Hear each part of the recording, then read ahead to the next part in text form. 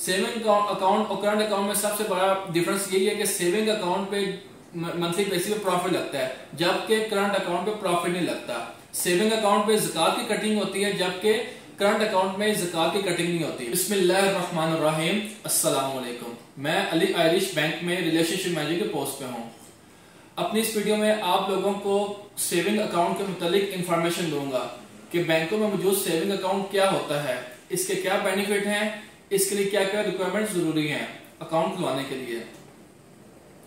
बैंकों में जो सेविंग अकाउंट में जो प्रॉफिट लगता है, ठीक है? सेविंग अकाउंट पे मंथली बेसिस पे प्रॉफिट लगता है। अगर आप किसी इस्लामिक बैंक में अकाउंट ओपन करवाते हैं तो उसमें जो अकाउंट होता है, वो नफा नुकसान की बेस पे होता है, ठीक है? उस पर मंथली बेसिस पे प्रॉफिट लगता है। इसके अलावा सेविंग अकाउंट पे आपको एटीएम कार्ड मिलता है चेक बुक मिलती है ऑनलाइन बैंकिंग मिलती है, ठीक है?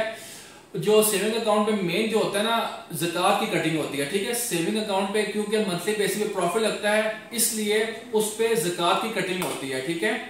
इसके अलावा सेविंग अकाउंट पे जो प्रॉफिट लगता है, उस पर टैक्स लगता है, ठीक है? उसको कहते हैं विद होल्डिंग टैक्स अगर आप फाइलर हैं तो उसका 15 परसेंट टैक्स लगेगा प्रॉफिट के ऊपर. अगर आप नॉन फाइलर हैं तो 30 परसेंट आपके जो अमाउंट होगी सेविंग की, जो प्रॉफिट लगेगा, उस पर टैक्स लगेगा, ठीक है? इसके अलावा अगर आप चाहते हैं कि बैंक वाले आपको जिकात ना काटें, आप अपने हाथ से जक़ात देना चाहते हैं तो आपको जिकात एग्जामेशन फॉर्म कचहरी से ला के जिसके मालिक हंड्रेड रुपीज़ होती है, वो ला के बैंक में जमा करवाना होता है। इसका बेनिफिट ये होगा कि अगर आपने सेविंग अकाउंट ओपन करवाया तो सेविंग अकाउंट पे आपकी जिकात नहीं कटेगी, ठीक है? सेविंग अकाउंट ओपन करवाने के लिए आपका सोर्स ऑफ़ इनकम होना ज़रूरी है। अगर आप सैलरी पर्सन है तो आपकी सैलरी से चाहिए होगी। अगर आप बिजनेसमैन है तो आपका बिज़नेस का लेटर है चाहिए होगा। अगर आप हाउस वाइफ हैं तो जो बंदा आपको सपोर्ट करता है, उसके डॉक्यूमेंट चाहिए होंगे, ठीक है? किसी बैंक में जाएँ, ये डॉक्यूमेंट लेके उन्हें बताएँ कि मेरा सेविंग अकाउंट ओपन करें तो आपका सेविंग अकाउंट ओपन कर देंगे। कि बैंकों में मौजूद करंट अकाउंट क्या होता है? इसके क्या फ़ायदे हैं? इसके लिए कितना इनिशियल डिपॉजिट चाहिए होता है, ठीक है? और ये किस मकसद के लिए यूज़ होता है? क्योंकि बहुत ज़्यादा लोग कमेंट्स करते हैं, भाई, हमें करंट अकाउंट के बारे में बताएँ. बेसिकली जो लोग कारोबारी अफराद होते हैं, वो बैंकों में उनका करंट अकाउंट ओपन होता है, ठीक है? करंट अकाउंट में ये होता है कि कोई नफा नुकसान नहीं होता। जितने पैसे हो, उतने ही रहते हैं, ठीक है? यानी इस पे जैसे सेविंग अकाउंट में प्रॉफिट लगता है, इस पे प्रॉफिट नहीं लगता, ठीक है? करंट अकाउंट में इसके अलावा जक़ात की कटौती नहीं होती, ठीक है? करंट अकाउंट में इसके अलावा जक़ात की कटौती नहीं होती, ठीक है?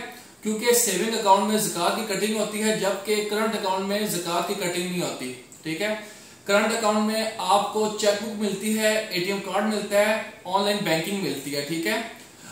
करंट अकाउंट को आप मोबाइल ऐप से भी इस्तेमाल कर सकते हैं, ठीक है?